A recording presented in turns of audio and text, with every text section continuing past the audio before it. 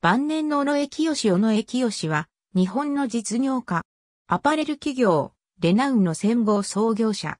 レナウンの前身は、大阪で佐々木88と小野江節造によって1902年に創業されたメリアス等の繊維卸売業、佐々木営業部。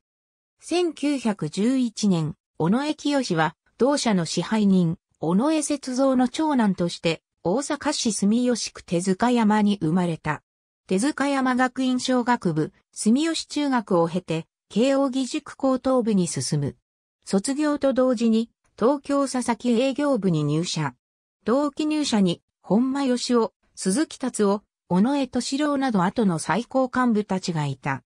1922年、英国皇太子エドワードが、巡洋戦艦レナウンで、クササグカンダーバンと共に訪日。佐々木営業部は、メリアス等の商品ブランドとして、レナウンを商標登録した。1938年、小野江清は召集され、中国の天津に駐留。1940年、復員して、伊勢丹のコスが丹治社長の長女、吉子と結婚。達也、美智子を設ける。1941年、二度目の召集で、熊本の天草連隊に入隊。除隊して商品部長になる。1944年、平和産業の営業は困難になり、佐々木営業部は交渉と合併する。小野江清は三度目の召集で沖縄の部隊に入隊、終戦を宮古島で迎えた。復員後に交渉医療品部長になる。1947年、小野江清は佐々木営業部を再建し社長に就任。資本金19万5千円、社員25名、大伝馬町の交渉ビルの一部を借りて営業を開始した。当初は利益の上がらない会社だったが、小野江は人材や生産設備、宣伝には惜しみなく投資を続けた。先行投資と消費者重視が二大政策として1950年代以降から週刊誌やラジオで宣伝を開始した。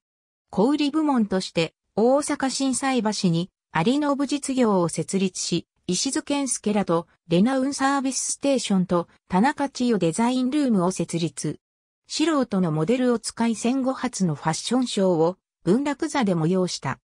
1949年、洋裁ブームに乗って高級婦人服時、レナウンファブリックを発売し、ファッションビジネスへの思考を強めていった。1952年、製造部門である東京編式をレナウン工業株式会社に、3年後に佐々木営業部をレナウン商事株式会社に社名変更した。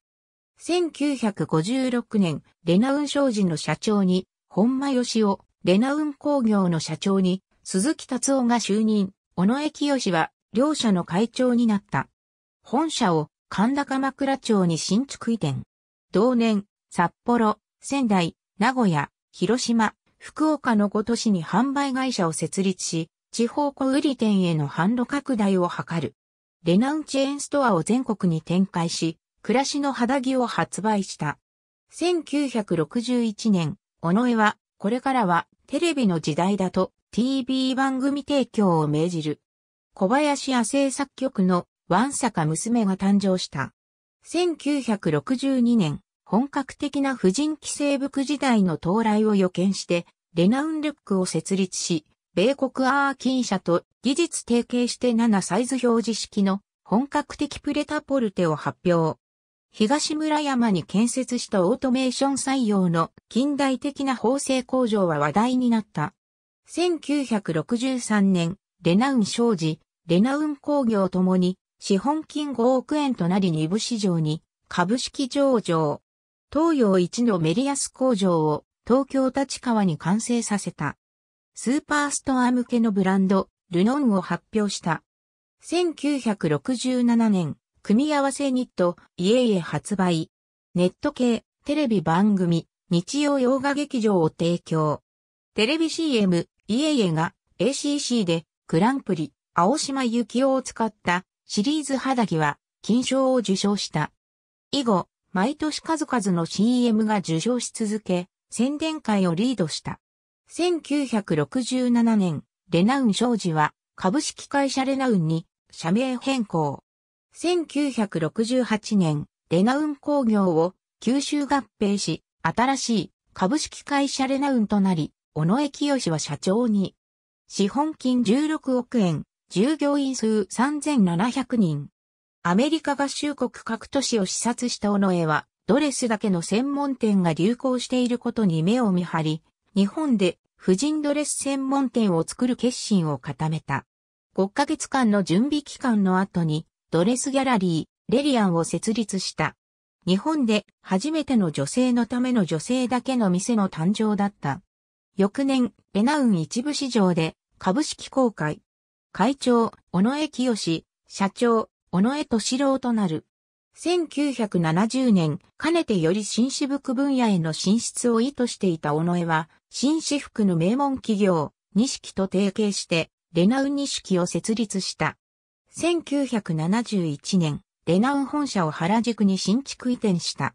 1972年、レナウン錦は株式会社、ダーバンに社名変更。イメージキャラクターにフランスの人気映画スター、アランドロンを起用。一挙に知名度を上げたものの売り上げは目標を下回り、3期までの累積赤字は10億円に達した。尾上は、ダーバン全社員を集めて6時間にわたる訓示を行い、売上の火の玉になれと激励。翌年には2億7千万円の黒字に転じた。1973年、イタリアンレストラン、レナウンミラノを設立、外食産業に乗り出した。韓国に、カズノブレナウン、ブラジルに、レナウンドブラジル、アメリカに、レナウンエンタープライズを設立するなど海外事業の積極的展開を図る。1974年、レナウンの年商は1000億円を超えた。1975年、小野江清は創業幹部たちと現役を引退し理事長になる。